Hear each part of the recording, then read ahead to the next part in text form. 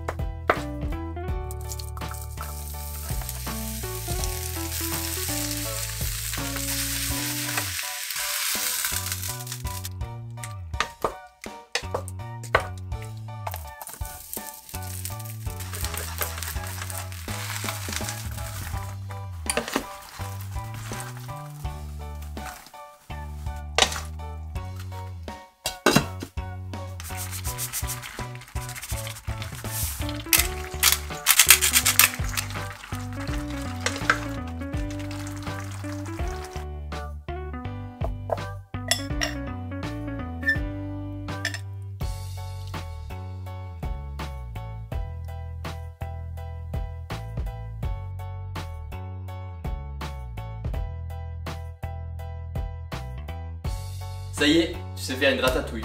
Ben voilà, au final c'est pas très compliqué hein.